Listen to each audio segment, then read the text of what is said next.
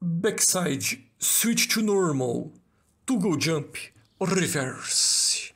Olá, eu sou Omar Corélio e este é o Skate na Cabeça, episódio 2061. Nos dois episódios anteriores nós vimos o backside toggle jump. Agora, a partir do instante 2 minutos e 46 segundos, nós vemos a versão reverse.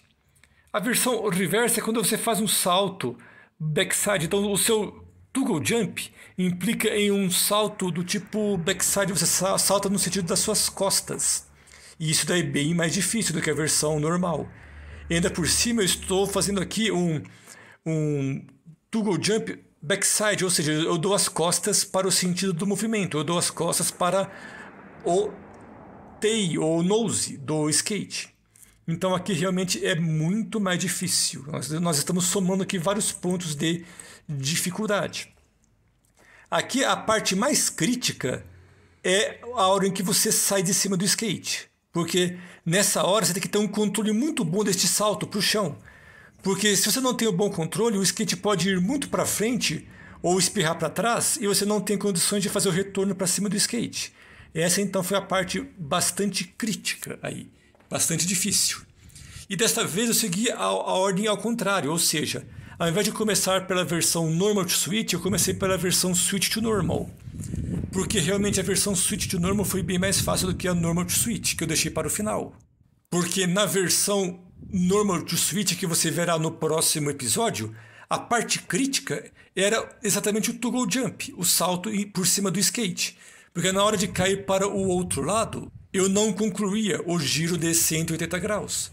Foi bastante difícil me condicionar a fazer esse giro de 180, 180 eh, graus na versão Normal to Switch. Então, aquela, aquela versão do próximo capítulo é bem mais difícil e é, é sem sombra de dúvidas, o toggle jump mais difícil de todos. Então, então nós concluímos aí os 12 tipos de toggle jump. Foi algo bastante divertido, deu para queimar aí bastante, muitas calorias. E você, olhando as imagens, com certeza não vai entender o, a sequência, a cronologia aqui da dificuldade, porque que uns são mais fáceis do que os outros. Então eu recomendo que você tente fazer isso, esses 12 tipos de toggle jump, e você chegue às suas próprias conclusões. E eu recomendo que você faça isso em um piso levemente inclinado, suavemente inclinado, para que o skate continue em movimento, para dar mais emoção. Porque se for num local, local 100% plano, o skate perde o movimento e você não consegue concluir essa manobra.